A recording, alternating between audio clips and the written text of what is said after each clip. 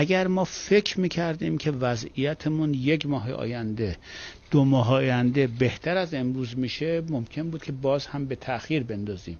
با توجه به اینکه ماهیت ویروس هم عوض شده تغییر جن جهش پیدا کرده و قدرت سرایتش خیلی زیاد شده حتی امکان باید تجمعات رو کاملا جلوش گرفت. آزمون ورود به دانشگاه برای دانش آموزان یا امتحان مدیریت کرونا برای دولت؟ در 60 دقیقه امشب می‌پرسیم آیا برگزاری کنکور چنانچه منتقدان می‌گویند فرستادن دانش آموزان به دیگ جوشان کروناست یا آنقدرها هم جای نگرانی نیست؟ در ادامه برنامه امشب بازگشت بخشی از دماوند به منابع طبیعی. دو پلاک دیگر کوه همچنان در اختیار اوقاف است. شلیک موشک بالستیک از زیر زمین در رزمایش ایران نزدیک خلیج فارس سپاه مدعی است شیوهی نوین ابدا کرده. و شبکه های اجتماعی در قبضه کنترل دولت ترکیه. عفو بین الملل می‌گوید قانون جدید حمله آشکار به آزادی بیان است.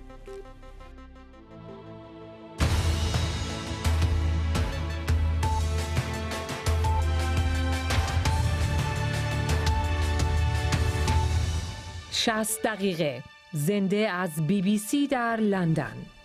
در شرایطی که ظرفیت بیمارستان ها در ایران به گفته مقام های بهداشتی پر شده و کادر درمان فرسوده دولت از تصمیمش برای برگزاری آزمون های ورودی دانشگاه ها یا کنکور دفاع کرده و می‌گوید بیش از یک میلیون نفر در سراسر ایران با رعایت پروتکل های بهداشتی به زودی در این آزمون شرکت خواهند کرد. فشار افکار عمومی و توصیه فعالان حوزه سلامت هم گوش شنوایی پیدا نکرد. در برنامه امشب می‌پرسیم چرا چنین تصمیمی گرفته شده؟ اول اما بشنویم از چیدا هوشمندی که نگاهی انداخته به وضعیت امروز ایران در شرایط بحرانی مقابله با کرونا. نیمی از استانهای ایران در وضعیت قرمز. شمار مبتلایان حالا به روزهای بحرانی اسفند ماه گذشته باز میگردد متاسفانه طی 24 ساعت گذشته 196 نفر از هموطنان عزیزمون رو در اثر ابتلا به بیماری کووید 19 از دست دادیم که با احتساب این مجموع جانباختگان تا به امروز به 16343 نفر رسیدند. این وضعیت افزایش شمار مبتلایان قطعی در ایران است. به روایت آمار رسمی و بسیار کمتر از برآوردهای غیر رسمی. و این نمودار مرگ ارقامی که تنها یک بعد از فاجعه را آشکار می کنند. شمار مرگ و میر روزانه در ایران حالا رکورد می شکند. بیشترین خطر متوجه کادر درمانی ایران است. و نمونه بارز اون مبتلا شدن بیش از 6 هزار نفر از کاد درمان در سراسر کشور به این بیماری و تقدیم بیش از 140 شهید در این مسیر است از همزمان با افزایش شمار مبتلایان کووید 19 در ایران برگزاری کنکور ورودی دانشگاه ها و عزاداری محرم بحث برانگیز شده. پزشکان و متخصصان می‌گویند این دست تجمعات خطرناکند اما دولت اصرار دارد که هم کنکور و هم مراسم محرم برگزار شود. هایی که می‌خوان عزاداری تعطیل بشه بهشون گفته میشه عزاداری تعطیل نمیشه اونا که می‌خوان از طریق عزاداری عزاداری رو زیر سوال قرار بدن و بگن این عزاداری باعث شد تا موج بیماری بیشتر شده به اونا ما اجازه نمیدیم نیایش جمعی یکی از مهمترین تجمعاتی بود که در سراسر جهان برای مقابله با شیوع ویروس کرونا محدود شد. چرا که نمونه هایی در کشورهای مختلف یافت شد که منشأ شیوع ویروس گرد همایی مذهبی بوده. نمونه آن مناسک حج که عربستان امسال زائر خارجی را به آن راه نمی دهد. عربستان که سالانه میزبان دو میلیون زائر حج بود امسال فقط به شهروندانی که در حال حاضر مقیم این کشور هستند اجازه شرکت در مراسم حج را داد. جنجال بر سر برگزاری مراسم و تجمع در حالی در ایران ادامه دارد که تردیدهای جدی درباره صداقت مسئولان ایرانی در ارائه آمار ابتلا و میزان بحرانی بودن شرایط وجود دارد. محمد رضا محبوب فر عضو کمیته پیشگیری از کرونا به روزنامه شهروند گفته که تهران مدت هاست وارد وضع قرمز شده اما به خاطر ملاحظاتی که وجود دارد دولت این را اعلام نکرده. این شرایط به گفته او درباره بسیاری از استانهای دیگر کشور هم صدق می کند. آقای محبوب فر می‌گوید نخستین کار برای نجات کشور از وضع فعلی تعطیلی یک ماه است. تعطیلی دوباره کشور اما هزینه های اقتصادی سنگینی دارد که جبران آن از توان دولت ایران خارج است. حالا جان هزاران شهروند ایرانی در گروه تصمیمی است که دولت در روزها و هفته های آینده می‌گیرد. شیدا هوشمندی بی بی سی. شمارش معکوس تا زمانی که مقرر شده برای برگزاری کنکور از همین حالا شروع شده گذرگاهی که گذشتن از اون برای متقاضیان هیچ وقت راحت نبوده اما امسال این مسیر دشوار از یک برزخ میگذره. اسم اون هم کرونا هست. کرونا جان بسیاری رو گرفته و روال زندگی رو تغییر داده اما برای کنکوری ها پرسش بزرگ زندگی حالا اینه برگزار میشه یا نمیشه؟ که حالا مشخص شده برگزار میشه. مخالفان برگزاری کنکور هشدار میدن که نشستن بیش از دو میلیون نفر برای ساعتها در سالن‌های سربسته می‌تونه آتش کرونا رو در کشور از این که هستم شعله ور بکنه. این هشدار دکتر مینو مهرز عضو کمیته کشوری ستاد مقابله با کرونا. به عنوان یه متخصص عفونی که و الان که اوج در حقیقت دوباره بیماری در خیلی از استانها به خصوص در تهران هست. با توجه به اینکه ماهیت ویروس هم عوض شده تغییر جن جهش پیدا کرده و قدرت سرایتش خیلی زیاد شده با هر تجمعی کلا ما یعنی حتی امکان باید تجمعات رو کاملا جلوش گرفت. کنکور هم یک یه ساعت دو ساعت یعنی چند چند ساعت معمولا؟ یک فردی یعنی تعداد زیادی با توی سالان میشینن به صورت محیط در بسته شما مدت طولانی حتی تو محیط در بستن باشید با ماسک امکان ابتلا وجود داره. خب اون فردی هم که داره کنکور میده چند ساعت باز فکر کنه این ماسک براش یه مقدار مشکل سازه. ولی اون شرایط چون اگر نمی‌تونن عقب بندازن شرایط با خصوص کنکور سراسری که میلیون ها نفر شرکت می‌کنن. آیا این تعداد سالن دارن که تو هر سالن ده نفر بذارن با رعایت فاصله فیزیکی تهویه هوا و شاید بشه برگزار کرد ولی خیلی ریسکه. یه ما دیگه عقب بندازن هوای ذره بهتر بشه تو محیط باز برگزار. فاصله فیزیکی محیط باز دکتر مهرز پیش از این هم بارها برگزاری کنکور در شرایط کرونا رو خطرناک دونسته بود. در مجلس ایران هم رئیس کمیسیون بهداشت و درمان خواسته بود کنکور فقط زمانی برگزار بشه که بیماری در کشور به طور کامل کنترل شده باشه. به گفته حسین علی شهریاری این نگرانی وجود داره که اجرای پروتکل های یکسان با توجه به شرایط اقلیمی متفاوت کشور نتونه ضمانت اجرایی داشته باشه. و همهگیری تشدید بشه.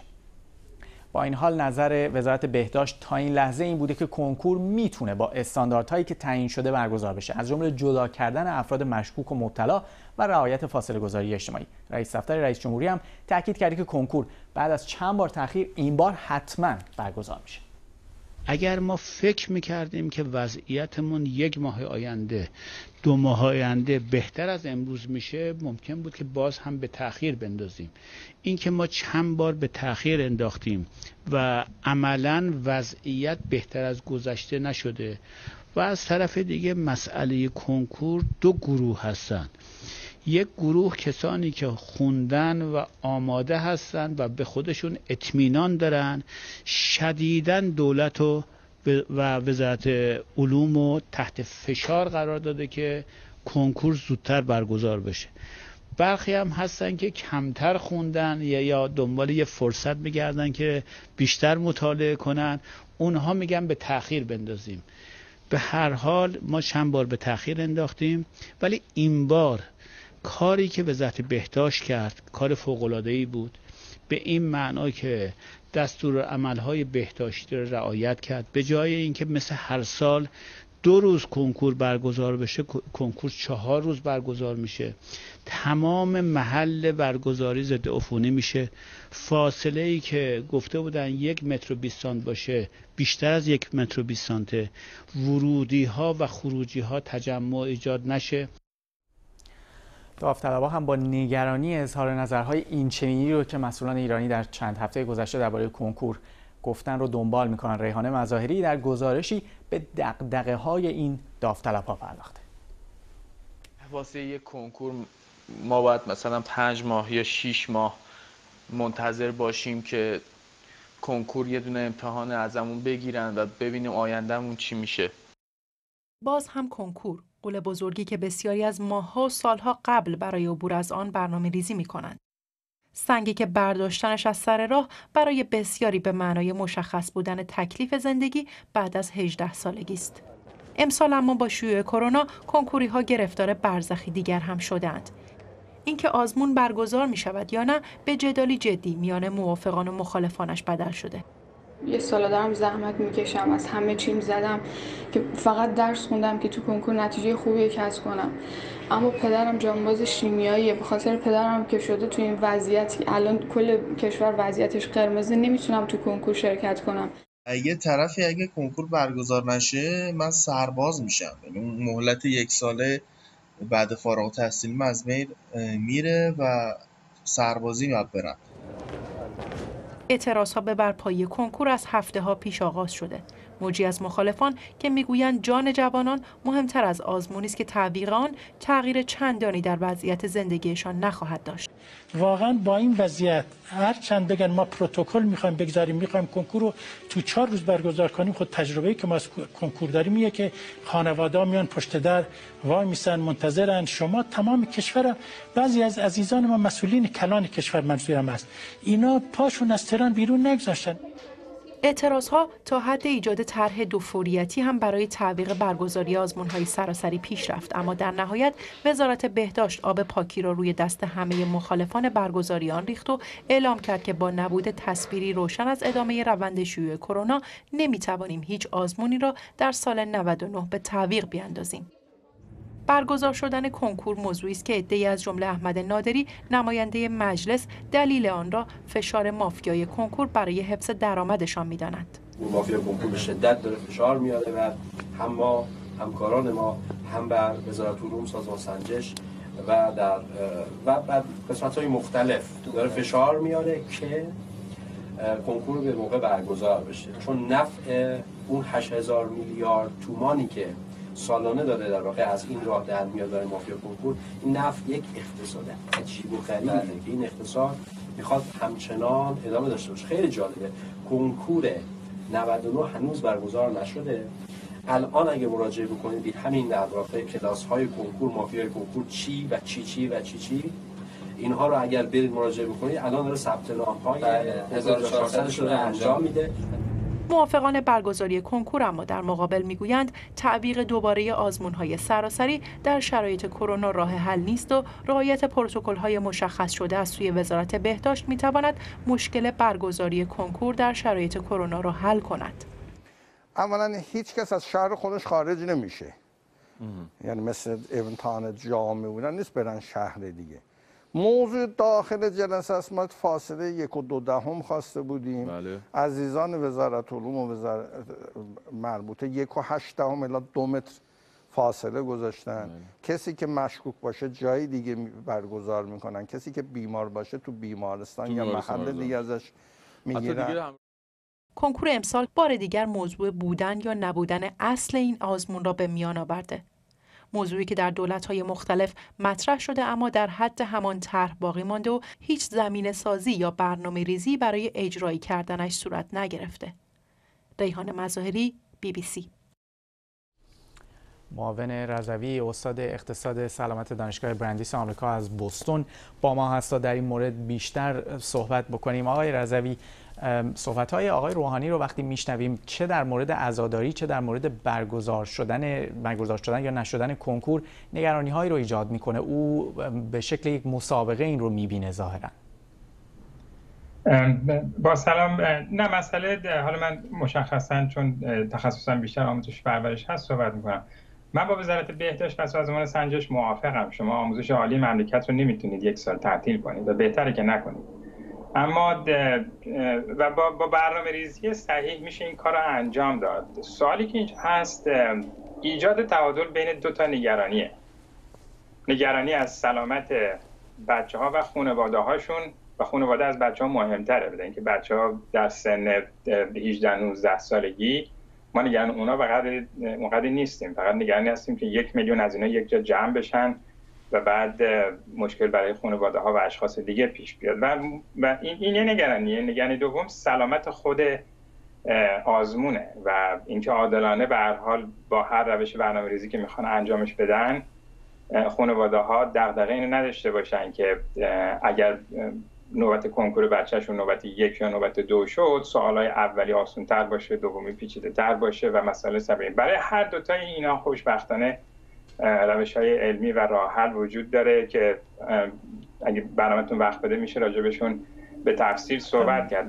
به اونجا به اونجا می‌رسیم که چه چه روش علمی میشه در واقع به کار برد که اگر چون در نهایت اگر قرار باشه در چهار روز برگزار بشه باید دو سری مشخص و جدای سوال طرح بشه و اون هم یه سوالهایی رو به هر حال ایجاد می‌کنه. ولی در مورد اینکه گفتین خب برای جوانها خطر نداره اما میشنویم که دکتر مینو مهرز نگران این هست که افراد وقتی از اون جلسات بیرون میرن به خانه هاشون میرن. برای ما پیام هایی گذاشتن مثلا شنیدید دختری رو که می‌گفت پدرش شیمیاییه و خب اون اگر به این بیماری دوچار بشه عملا جانش رو از دست میده. و اینها برمیگردن به خانواده هاشون و میلیون ها نفر احتمال گرفتن این بیماری رو دارن. به لحاظ سلامت آیا به هیچ عنوان میشه توجیه کردی مسئله رو؟ ببینید من با نظر خانم دکتر موافقم. کنکور فصل بسیار پر استرسیه و مجسم کنید بچه 18 19 ساله ای که داره مسیر زندگی آیندهش رو تعیین می‌کنه هفت یک هفته دو هفته ده روز 15 روز تحت استرس شدید و بیخوابی که در واقع سیستم ایمنی بدن رو به شدت ضعیف می‌کنه. و تردیدی نیست که شما وقتی که بعد ده ساعت اینا رو توی یک محیط بسته با کولر آبی که هوای داخل رو سیرکوله می‌کنه و همه تنفس می‌کنن ماسک داشته باشید نداشته باشید دیگه فرق نمی‌کنه. این این ریسک رو بالا می‌بره. برای همینه که منتها مسئله اینجاست که این بچه ها اگه بگیرن هم ما نگران سلامت خودشون کمتر هستیم تا سلامت خانوادهشون. یعنی دختر خانمی که راجع به سلامت پدرشون صحبت می‌کنن باید بهشون حق داد و دغدغه‌شون رو شنید و براشون راه حل ایجاد کرد. یعنی برای همینی که من میگم که کنکور رو در, در دو نوبت یا حتی اگر امکان داره در سه نوبت با, با حفظ این دوتا بودی که گفتم سلامت بچه ها و مهمتر از اون خانواده هاشون و سلامت خود امتحان برگزار کرد. ولی تاخیر و تعطیلیش هیچ کمکی نمی‌کنه. خانم دکتر گفتن که یک ماه دو ماه صبر بکنیم. من فکر نمی کنم تو ایران شما جایی رو بتونید پیدا کنید که فضای سایه برای ده ساعت در روز تو هوای مثلا حتی مهر هم داشته باشه. هنوز هوا, هوا در اون روزا اونقدر گرم هست که نشه برگزار کرد. من فکر کنم که با اندکی هزینه اضافی و درخواست دو یا سه سری سوال و حفظ مسائل تکنیکی که بهش اشاره می‌کنیم کنکور در دو یا سه سری انجام بدن. و فواصل رو بیشتر بکنن و مطمئن باشن که ریسک سلامتیش رو به حداقل میرسونن ضمن اینکه اطمینان خاطر عدالت امتحان و سلامت و امتحان رو هم باید بالا ببرن با روش تکنیکی که راجعش صحبت آیا تو در روزهای گذشته بارها بارها در شبکه های اجتماعی از نگرانی, های، نگرانی پدر و مادرهایی شنیدیم که خب الان باید بین اینکه فرزندشون رو بفرستند به حوزه امتحانی یا نفرستن باید یه انتخابی بکنن و عملا نگرانن.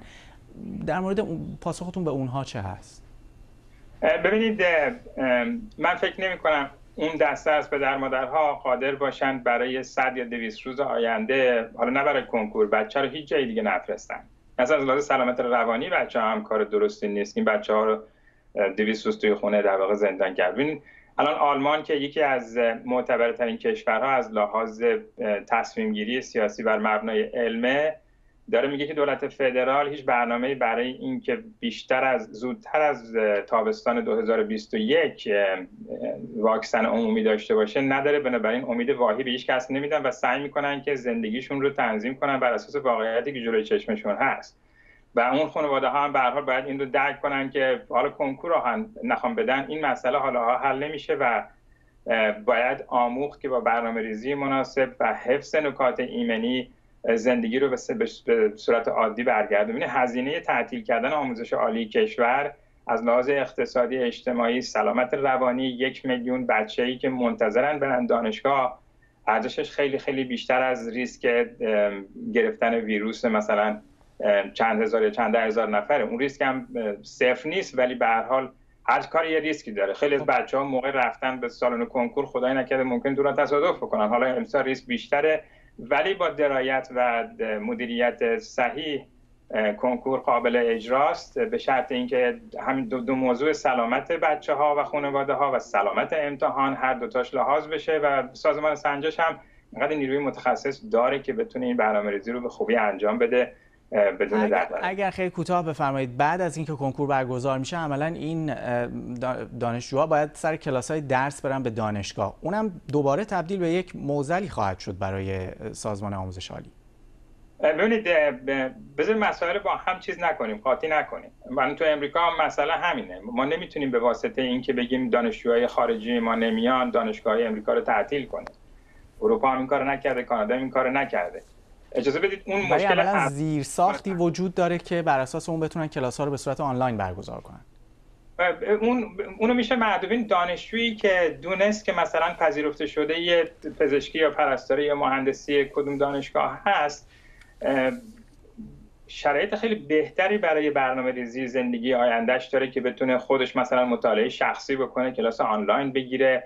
ولی اینکه شما این کنکور رو برگزار نکنید و تلمبارش کنید روی سال آینده سال آینده دانش آموزی که داره فارغ التحصیل میشه از لحاظ قدرت رقابت نمی‌تونه با دانش آموزی که یک سال وقت بیشتر داشته و دسترسی به کلاس و کنکور و همه چیز داشته سر یک امتحان بشینه. ببین شما باید اون مسئله هم بهش نگاه کنید.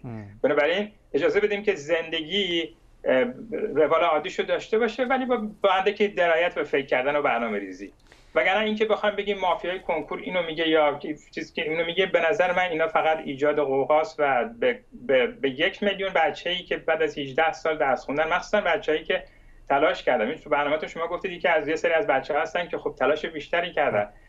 مسئله اینه که اگه احقاق حق اونها هم باشه باید احترام گذاشت و برایشون زمینه سالمی رو ایجاد کرد که بتونن وارد این بزرگترین رقابت زندگیشون بشن و نگران چیزی هم نباشن. ممنونم از شما. آقای رضوی معاون رضوی استاد اقتصاد سلامت دانشگاه برندس. باید این توضیح رو هم بدم که تلاش کردیم با یک استاد جامعه شناسی دانشگاه پاریس که کارشناس آموزش عالی هم هست که نظر مخالف آقای رضوی رو داشتن هم صحبت بکنیم اما متاسفانه به دلیل مشکلات فنی تماسمون با ایشون در لحظات آخر برقرار نشد.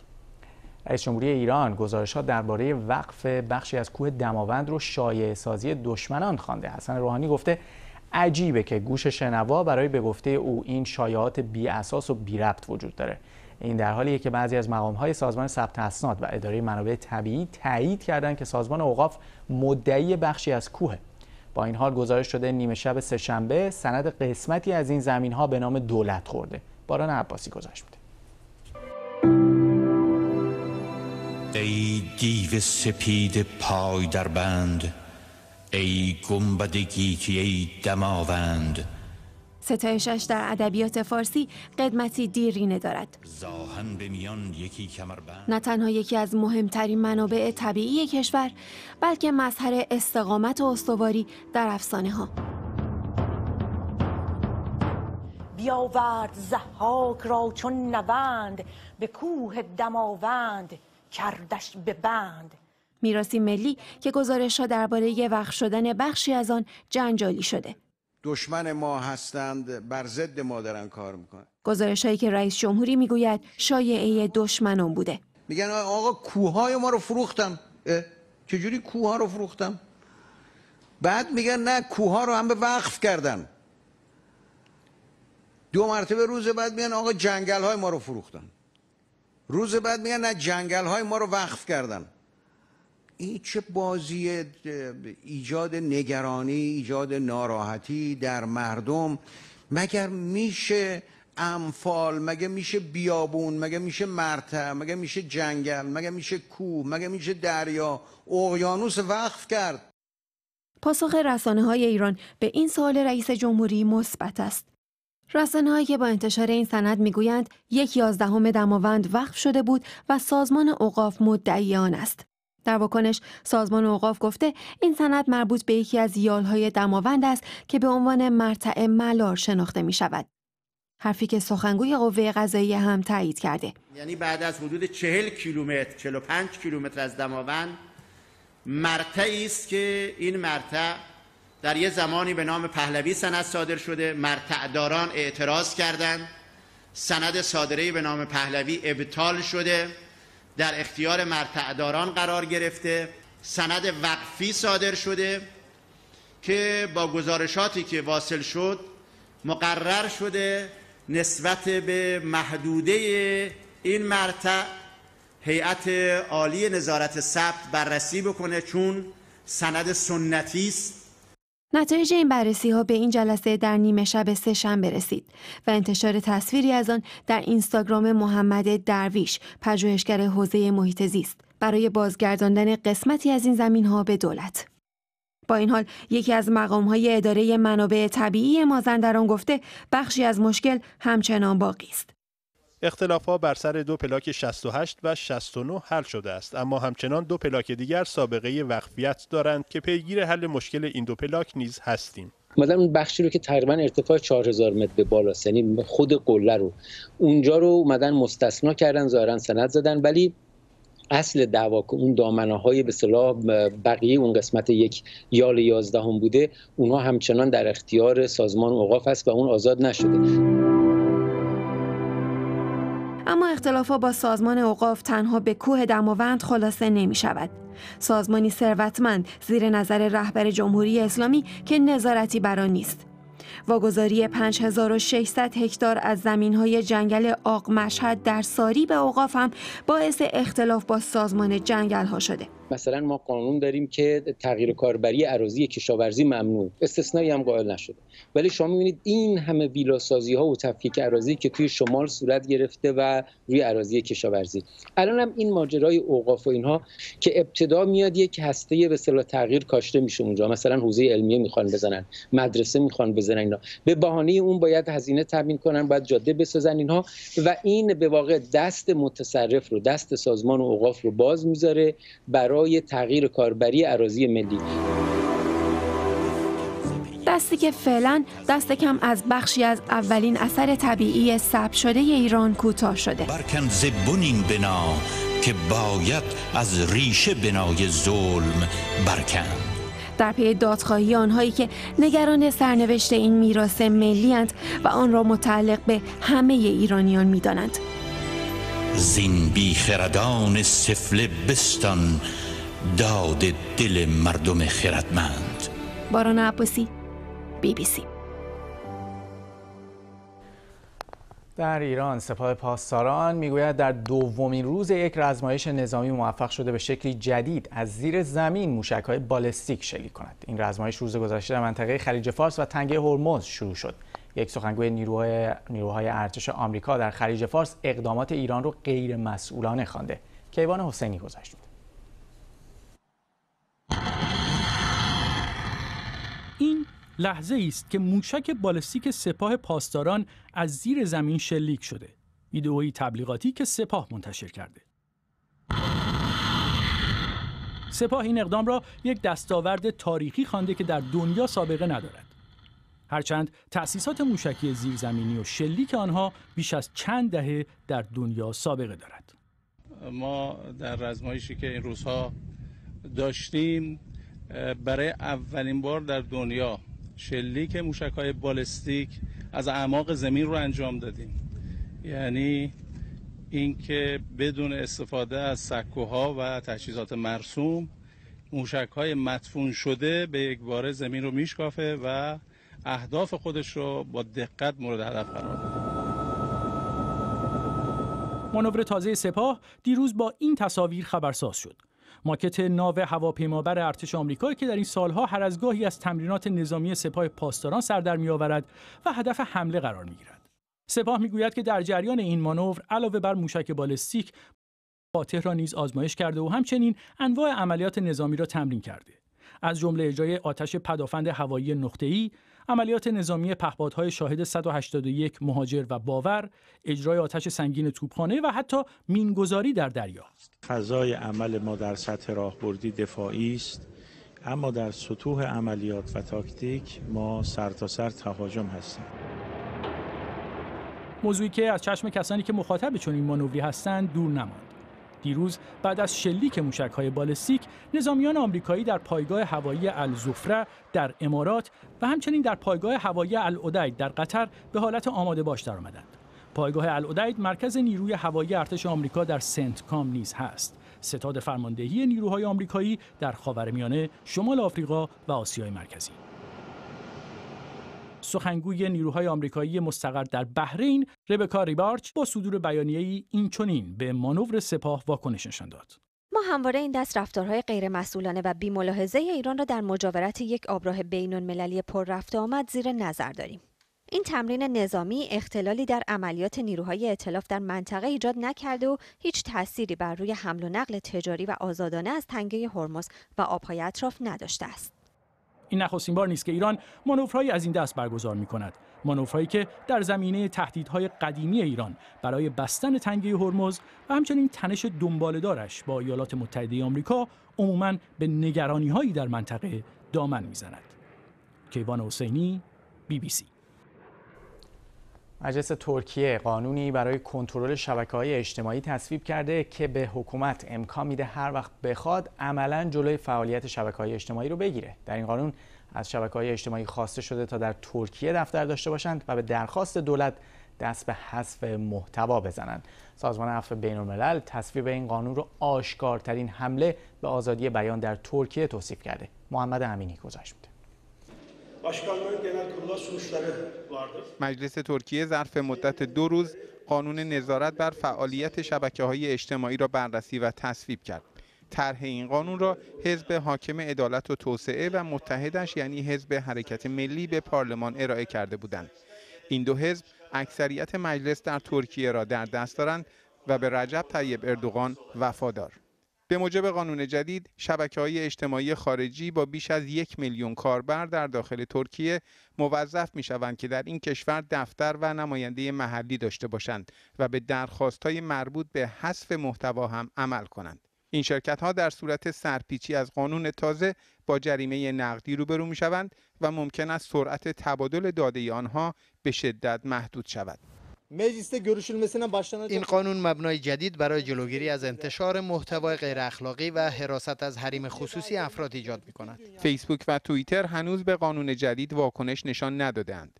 توییتر گفته که ترکیه در نیمه اول سال 2019 میلادی دومین کشور جهان از نظر تعقیب قضایی کاربرانش به خاطر فعالیت‌هایشان در این شبکه بوده.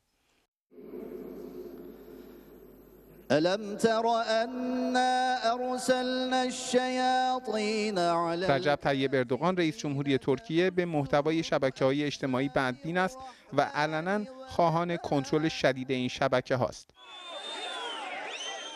از زمان کودتای نافرجام چهار سال پیش ارتش در ترکیه علیه دولت اردوغان بگیر و به بندها در تمامی سطوح به جریان افتاده. بسیاری از کاربران شبکه های اجتماعی به اتهام توهین به اردوغان یا وزیران دولتش یا انتقاد از فعالیت های ارتش ترکیه در عراق، سوریه و دیگر نقاط و حتی به خاطر انتقاد از عملکرد دولت در مقابله با ویروس کرونا سر از دادگاه و زندان درآوردند. محمد امینی بی بی سی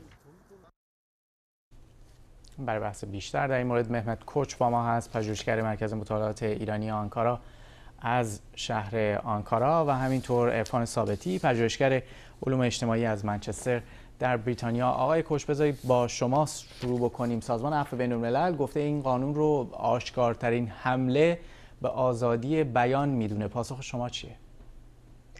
سلام خدمت شما بینندگان محترم. البته طبیعی هست سازمان عفو بین الملل چون این واکنش نشون بده چون همانطور که مستظر هستید بعد از کودتای جولای 2016 به این ور محدودیت های در عرصه رسانه به وجود اومد. اصلاحاتی صورت گرفت. خب یه شرایط فوق العاده حاکم شد در کشور و ترکیه با این اتهامات و با این انتقادات بیشتر روبرو شد. و این فرایند هرچند کاسته شده از اون میزان محدودیت رسانه ها ولی کماکان یه مقدار از اون محدودیت ها باقی است. الان بحث بر سر رسانه های رسانه نه البته این بحث فضای مجازی هستش. شبکه های اجتماعی. اینجا خدمت شما ارز کنم همانطور که در گزارشتون هم اشاره کردین شما هم واقعا بین گروه های سیاسی یا گروه های سیاسی اجتماعی یا احزاب یه سری آدم ها برخی مسائل رو رعایت نمی کنن و یعنی اتهامات یا توهین های خیلی سنگینی نسبت به یکدیگر وارد می‌کنن. این غیر قابل قبول این فکر کنم برای اکثریت جامعه قابل قبول است. یعنی مهار این نوع فعالیت در شبکه های اجتماعی. اما از آنجا که دادستان ها و یا همون سازمان فناوری اطلاعات ریاست محترمش. امکان ایجاد محدودیت هایی در صورت اینکه اونا پاسخگو نباشند. یعنی مسئولین شبکه های اجتماعی همون توییتر فیسبوک و امثاله اگر دست به همکاری نزنند ترکیه می‌تونه در واقع همین سازمان می‌تونه محدودیت های هم مالی هم جرایم مالی چیز کنه اعمال کنه. هم اگر اون جرایم مالی رو هم پرداخت نکنن می‌تونه محدودیت های تبادل داده را هم ایجاد کنه. شما نگران نیستید که آقای اردوغان بخواد از این مسئله سوء استفاده بکنه به نفع اینکه قدرت بیشتری در واقع بگیره؟ ببینید این همیشه برای سیاستمداران این در باز هستش. واقعیتش خیلی از جامعه خیلی از اقشار جامعه نگران هستند بنده هم نگرانیهایی دارم. ولی خب هنوز معلوم نیست واقعا کار به اونجا خواهد رسید یا نه؟ جامعه ترکیه نیروهای سیاسی اجتماعی ترکیه چه واکنشی نشون خواهند داد؟ در صورتی که اگر آقای اردوغان دست به چنین چیزی بزنه یعنی متوسل بشه به محدودیت شبکه های اجتماعی و جلوگیری از بیان آزادی. آقای ثابتی نظر آقای کوش رو شنیدید؟ کم و بیش میگن که عملا این قدرتی میده به دولت برای اینکه اتهاماتی رو که مطرح میشه علیه افراد بتونه کنترل بکنه. آیا شما هم همینطور فکر می‌کنید؟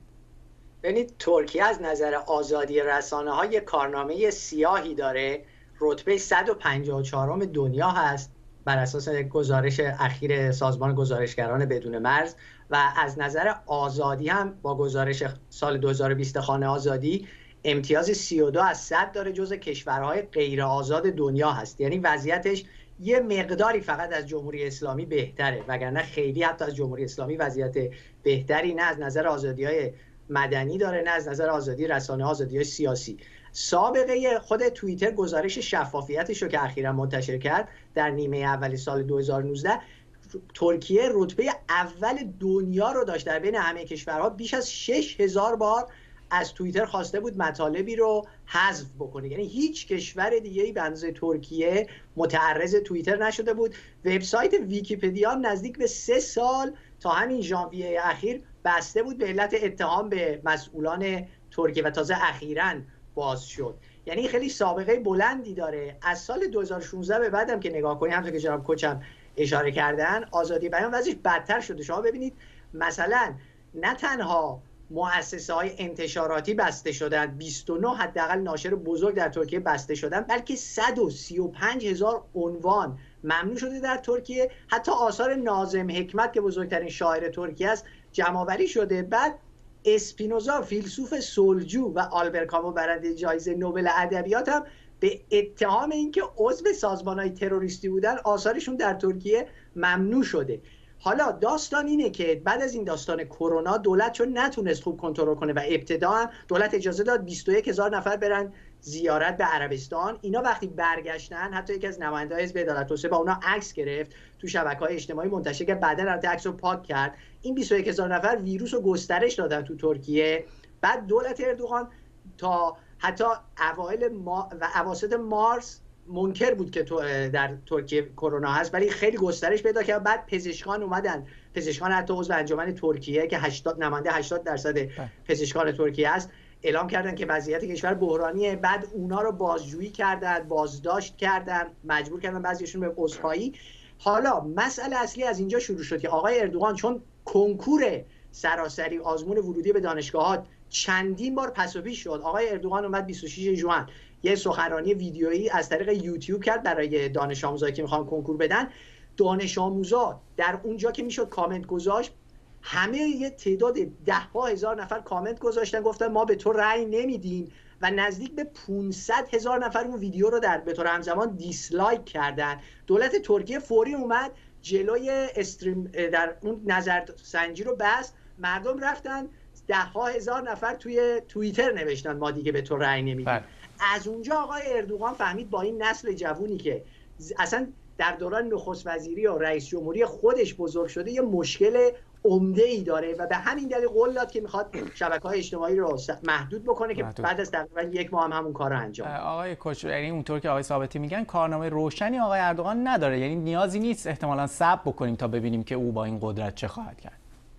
بله واقعا چون نگرانی وجود داره. برای همه همانطور که عرض کردم از چه مخالفین چه موافقین این طرح نگرانی های وجود داره. ولی به یک چند نکته اجازه بدین اشاره کنم از صحبت آقای ثابتی. اینکه افراد مشخص نامدار در ترکیه با یک سری مثلا محدودیت ها روبرو شدن یا یه سری تمیداتی در قبال اونها اتخاذ شد دلیلش هم عرض کنم. ببینید در هیچ جای دنیا هیچ کس اجازه نمیده کسی بیاد از یک گروه تروریستی علنا حمایت کنه. و بعد مورد استقبال قرار بگیره. هیچ دولتی و هیچ نظام سیاسی چنین چیزی را نمیپذیره. نه در اروپا نه در آمریکا و در سایر نقاط دنیا. بنابراین اگر ترکیه در چنین تمیداتی را لحاظ کرده قطعا این به جا بوده.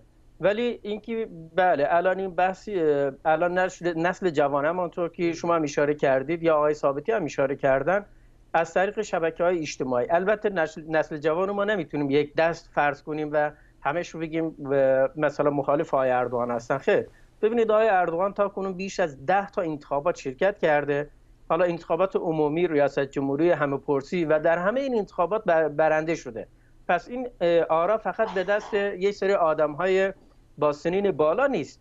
یک قشر وسیع جوان هم دارن به آقای اردوغان رای میدن در واقع. یعنی ما نمی‌تونیم نسل جوان یا نسل مسنتر یا به هر حال همه را یک دست در نظر بگیریم و آراشون اینجوری تجزیه تحلیل کنیم. طبیعی هست. چون الان ترکیه دو تا گروه شکل گرفته این حمایت در حال کاهش هست به شدت دیگه. ببینید اینو ما نمی‌تونیم ادعا کنیم. زمانی می‌تونیم ادعا کنیم. این ادعاها قبل از هر انتخاباتی مطرح شد اتفاقا. و بعد از انتخابات نتیجه عکسش در اومد. بنابراین یک گروهی سازماندهی میشن 500 هزار یک میلیون نفر از جوانان.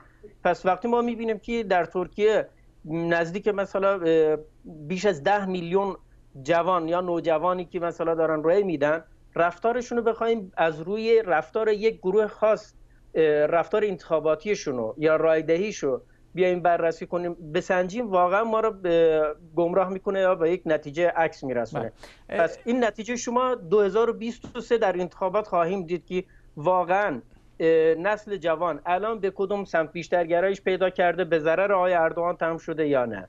آقای ثابتی پاسخ شما خب من خیلی خوشحال میشم. آقای کوچ بفرما. آلبر کاما نویسنده برنده جایزه نوبل ادبیات و اسپینوزا فیلسوف صلحجویی که اصلا هیچ وقت با کسی هیچ درگیری معروف است به فیلسوف صلحجو. کجا عضو یک سازمان تروریستی بودن که آثارشون در اصل ممنوع بشه به چنین جرمی؟ یا خانم الیف یا خانم الیف خانم شافاق نویسنده مطرح ترکی ایشون میگن هزاران هزار توییت به من کردن اخیرا چند ماه پیش. یعنی به خاطر اینکه در کتاب اخیرم به مسئله خشونت جنسی و کودک آزاری در ترکیه پرداختم ترول ها و بات ها و هواداران دولت ترکیه منو هرزه خطاب کردن ناشرام رو هم ماموران امنیت دو پلیس ترکیه رفتن بازداشت کردن گفتن حق نداری کتاب های منو منتشر کنی. یعنی سرکوبی که از روشن فکرها میشه یا این هفت 7300 دانشگاه استاد دانشگاه رو دولت اردوغان در چهار سال گذشته پاکسازی و اخراج کرده. نزدیک پنجاه هزار فردی رو که در نظام آموزشی یعنی نه دانشگاهی بلکه دبستان و دبیرستانی بودن رو هم پاکسازی کرده. آیا این پنجاه هزار نفر تروریست بودن؟ اون 7300 دانشگاهی طرفدار تروریستا بودن آقای محمد فاتح تراش استادیار دانشگاه که بعد از امضای تومار صبح با 700 نفر دیگه محکوم شد و خودکشی کرد. یا خانم آیشه گول آلتینای استاد مطالعه جنسیت و زنان که به دو سال زندان محکوم شده طرفدار تروریسم یا فسون اوستل استاد دانشگاه که نظریه پرداز مخالف ناسیونالیسم ترکیه است و الان در زندان به سر می‌بره. این کسانی که با ناسیونالیسم و اسلامگرای مخالفن آیا اینا طرفدار تروریسمن یا چون با نظام حاکم و اقتدارگرایی و پوپولیسم اردوغان مخالف هستن دارن سرکوب میشن؟ آقای کوچ پاسخ شما رو کوتاه بشنویم لطفا. ببینید آقای ثابتی چند تا شخص و نام بردن. ما الان امثال اونها هزاران نفر صدها نفر آکادمیسیان در دانشگاه داریم که همون حرفا رو دارن می‌زنن. ولی هیچ کدومشون نه زندانی شدن نه از شغلشون برکنار شدن. بنابراین نتیجه نشون میده که اون آقایون یا اون اشخاصی که ایشون نام بردن یا قطعا حمایت مستقیم از بعضی گروه های تروریستی و گروه های غیر قانونی ایلگال حمایت علنیشون رو اعلام کردن و دوچار اون سر، سرنوشت شدن. پس این ما نمی‌تونیم ادعا کنیم که حالا اینا صرفا اومدن این آزادی بیان رو داشتن یا این حرفا رو زدن. محکوم شدن و یا زندانی شدن. مطلب دیگه در مورد خانم علیف شفاق اتفاقا برعکس داره ایشون مطلب رو بیان می‌کنه. خانم علیف شفاق در کتاباش بعضی از این مطالب رو مطرح کردن که ربطی به بحث کودک آزاری نداره. اتفاقا در بحث کودک آزاری در ترکیه بیشترین حساسیت وجود داره و بیشترین حساسیت هم از سوی خود حزب حاکم و دو حزب حاکم هستش. که ایشون داره حرفی می‌زنن که کاملا برعکس واقعیت هستش. آقای ثابتی می‌خوام سوال آخر از شما بپرسم. جامعه ایرانیان ترکیه هم بسیار جامعه بزرگی هست. فکر می‌کنید این قانون آیا نگرانی باید برای اونها هم ایجاد بکنه یا نه؟ صد درصد. به خاطر اینکه دیدیم که اخیرا هم پناهجویانی رو که در ترکیه هستند بعضا دولت ترکیه به ایران برمیگردونه. ولی من می‌خوام باز تاکید بکنم به اینکه وقتی ما با ارقامی مثل 50 هزار نفر پاکسازی شده از دستگاه آموزشی یا 7300 دانشگاهی مواجه هستیم. اصلا بحث یه نفر و دو نفر نیست که ما بگیم که یک چند نفر مخالف بودن و اینطوری سرکوب شدن. شما ببینید در شبکه های اجتماعی ترکیه اگر دولت اردوغان می‌خواد نگران ارا... یعنی اتهامات بیاساس هست چرا اینقدر کاربران ترک طرفدار حزب اسلامگرای ترکیه و البته ناسیونالیستا که راجع به پروتکل بزرگان صهیون یعنی این دست ساخته دستگاه امنیتی روسیه تزاری که یعنی سند ضد یهودی بدنام دنیا هست و اینقدر تو رسانه های ترکیه راجبش صحبت می‌کنه تو شبکه های اجتماعی طرفداران دولت اردوغان چرا اونها رو بازداشت نمی‌کنه؟ چرا کاربرانی رو که مثلا 36 نفر رو بازداشت کرد پارسال دولت ترکیه به دلیلی که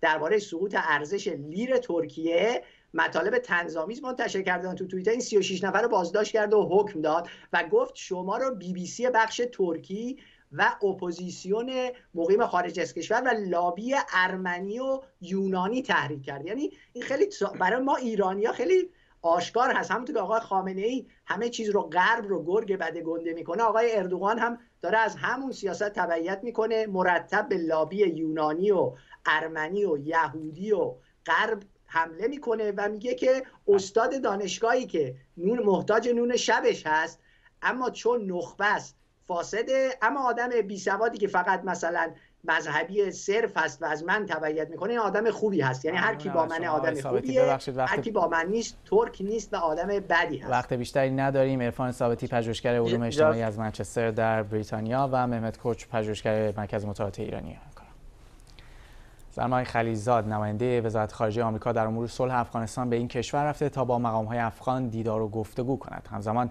پس از اعلام آتش بس از سوی طالبان شهروندان این کشور خواهان ادامه آن پس از سه روز عید قربان شدند. هر دو طرف جنگ افغانستان اعلام آمادگی کردند که در این گفتگوها شرکت کنند. علی حسینی از کابل گزارش میده. این عکس آرزوی بسیاری از افغان هاست دو دشمن نه رو در رو که در کنار هم باشند. آتش بس سه روز عید فال نیکی است برای بسیاری از افغانها. با این امید که ادامه داشته باشد. دیگه شکر الله صلح هم سه روز اعلان کرده. دیگه بهتر است که این سال سرتاسری شود کل امی مردم افغانستان به می امید هستند که اکسل آرامی بیای فامید این می رقم مردم مال سگ چقدر بیری باره کن. یعنی تو همیشه فامیدی باشه وطن ما بسیار خوش میشه اعلام آتش بس طالبان در کنار کاهش خشونت ها نشان دهنده چه می تواند باشد؟ با اعلان این آتش بس طالبان می‌خواد دو کار انجام بده اول در بین افغان ها محبوبیت خود را ایجاد بکنه. دوم برای جهانیان نشان بده که طالب ها یک پارچه هست در بینشان گروه های وجود ندارن. و هر توافقی که در پروسه صلح صورت می‌گیره برای تمام طالبان مورد قبول خواهد بود.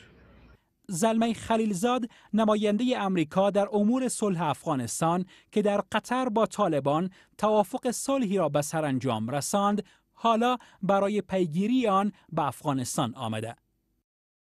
تکمیل روند رهایی زندانی ها و کاهش خشونت ها از جمله موضوعاتی است که او با مقام های افغان درباره آن صحبت می کند. دیروز اعلام آتش بس طالبان و وعده تکمیل رهایی پنج هزار زندانی طالب از سوی محمد اشرف غنی هر دو نشانه مثبت برای آغاز گفتگوهای بین الافغانی است. تا اینجای کار قطر مقصد اول هیئت طالبان و هیئتی از کابل است تا پشت میزی بنشینند که نقطه عطفی در جنگ حدوداً 20 ساله افغانستان است. گفتگوهای بین الافغانی با همه اهمیتش اما آغاز راه پیچیده و جنجالی است. نگاه افغانها به این گفتگوها با بیم و امید همراه است. علی حسینی بی بی سی کابل تازه ترین گزارش دیدبان حقوق بشر حاوی مستنداتی در مورد بدرفتاری پلیس یونان با پناهجویان و اخراج غیرقانونی اونها از طریق مرزهای خاکی و آبیه. بعضی از کشورهای اروپایی با انتقال عده‌ای از کودکان پناهجو و خانواده هاشون برای دسترسی به درمان موافقت کردند اما هنوز هزاران نفر در انتظار مکانی امن برای خودشون و بستگانشون هستند. گزارش آنایتا شمس رو آثار رفتار پلیس یونان بر تن یک پناهجو دیدبان حقوق بشر می‌گوید این تنها یک نمونه نیست. این سازمان گزارشی درباره رفتار غیرانسانی پلیس یونان با پناهجویان در مرز ترکیه و اخراج غیرقانونی آنها منتشر کرده. پلیس آمد و ما را نگه داشت. لباس هایمان، پول، غذا، موبایل، هرچی داشتیم را از ما گرفت و ما را به مرز برگرداند. در مرزهای آبی هم پناهجویان را به زور در قایقهای بادی می نشانند و به سمت ترکیه رها می کنند. دولت یونان اما این اتهام ها را رد کرده و آنها را اخبار جعلی خوانده است. یونان بیشتر کمک های مالی اروپا را برای حمایت از پناهجوها می‌گیره. این پول برای کمپ ها و همینطور برای حفاظت و مدیریت مرز هاست. بعد از انتشار گزارشمون در هفته گذشته ما از کمیسیون و اتحادیه اروپا خواستیم که این حمایت مالی رو کم کنن تا که این سوء استفاده در مرزها کم بشه. در قلب اروپا اما به نظر در سرزمینی فراموش شده روزگار میگذرانند. افسردگی و در نتیجه خودزنی و خودکشی در کمپ های پناهجویان یونان به شدت زیاد شده است. مختار سی و یک ساله و نه ماه است که در کمپ موری است. پسر او دچار افسردگی شدید شده است. زن و بچه همه روانی شده. و وضعیت درست حسابی نداریم. از هر لحاظ حساب کنی هم از لحاظ دکترش پنج صبح میریم سر دکتر به ما دارو نمیدن. میگه دارو نداریم همینه آب بخوریم نبودن امکانات بهداشتی و دسترسی محدود به کلینیک های درمانی یکی از مشکلات اصلی این کمپ های پرتعداد است. آب تنها برای چند ساعت در روز وجود دارد و صف های حمام بسیار طولانی. افرادی که اینجا تو صف هست معمولا سه دقیقه پنج دقیقه تو صف وای به نوبت بهش برسد نیم ساعت طول می‌کشه. تقریبا من بدون اقراق می‌تونم بگم همه کم بیماری گال دارم. اینو درمان می‌کنی اون یکی از می‌گیره. اونو درمان می‌کنی توی چادری که 20 نفر 25 نفر تخت زدن و بچه های کم سن با هم دیگه زندگی می‌کنن و از وسایل همدیگه مجبورن استفاده کنن چون امکانات خیلی زیاد نیست. خیلی سریع دوباره از همدیگه می‌گیرن. این یک زخم کوچیک گال به زخم وحشتناکی تبدیل میشه به خاطر گرما به خاطر نبودن بهداشت کافی. آلمان در روزهای گذشته با انتقال 100 کودک مهاجر از جزایر یونان که به درمان نیاز دارند موافقت کرده. اما صحبت از هزاران پناهجو در این کمپ هاست. اگرچه انتقال چند صد نفر از آنها امید بخش است اما این هزاران نفر نیاز مبرم به انتقال به محلی امن دارند. یونان اولین خاک اروپایی که این پناهجوها رسیدن. برای همین یونان مسئول رسیدگی و انتقال اونهاست. و البته بقیه کشورهای اروپایی هم می‌خوان که پناهجوها همونجا بمونن. برای همین از یونان حمایت مالی می‌کنن و به سادگی هم با انتقال پناهجوها به خاک کشورشون موافقت نمی‌کنن. چیزی که ما چندین ساله میگیم اینه که کشورهای اروپایی یونان رو محل انبار پناهجوها می‌بینن. دولت یونان با هدف تهیه منابع و فضای بیشتر در کمپ ها قانون جدیدی را تصویب کرده که پناهجویان پس از دریافت قبولی پناهندگی در عرض یک ماه باید کمپ و یا محلی که برای اسکان در اختیار داشتند را ترک کنند. این دوره قبلا شش ماه بود که پناهجویان فرصت داشتند زبان یاد بگیرند و برای خود کار و سرپناه پیدا کنند. ما را گفته تا دیگه وقت داریم که باید بریم کمپ ترک کنیم. چرا؟ به خاطر که آیدو کردیم اینجا کار اداره نمی‌کنه مگه شما دیگه از این کم خلاص شدین باید بریم بیرون.